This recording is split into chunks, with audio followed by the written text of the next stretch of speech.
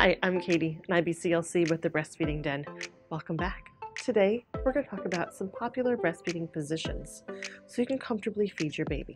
When we talk about breastfeeding and we look back at history, we see most imagery of women just kind of cradling baby in their arm, relaxed in their lap. And that's great for an older baby. Sometimes new babies need a little more support and stability to get that nice deep latch comfortably for mom.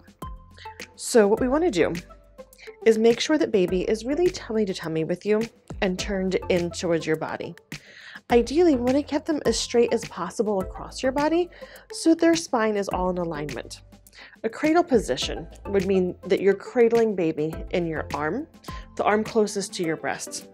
And then you can just kind of jostle your breast into baby's mouth. This would be an example of a cradle hold. Another popular hold is the cross cradle hold, which basically means you're just switching arms. So you're going to keep baby in that same nice tummy to tummy position with their body nice and straight.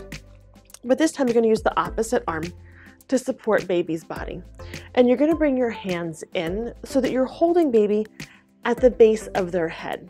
We don't want to put pressure on the back of baby's head because their instinct is going to be to pull back. Right? When someone touches back of your head, your instinct is to push back against that. So that's counterproductive to getting baby into a nice deep latch. So bring your arm supporting baby's spine with your head just the base of the skull. This is going to give you the hand closest to your breast free to line up your breast with baby and get a nice big latch. This is the cross cradle hold. Now, sometimes moms find that this can be a little challenging for their shoulders and their upper back. So what you can do once you've gotten this nice cross cradle position and gotten that nice deep latch is you can relax your arm, bring it down, and relax and hold your baby into a modified cradle hold. We hope this was helpful. Please let us know in the comments below how it worked for you. If there are other topics you'd like us to discuss, we would love to hear from you.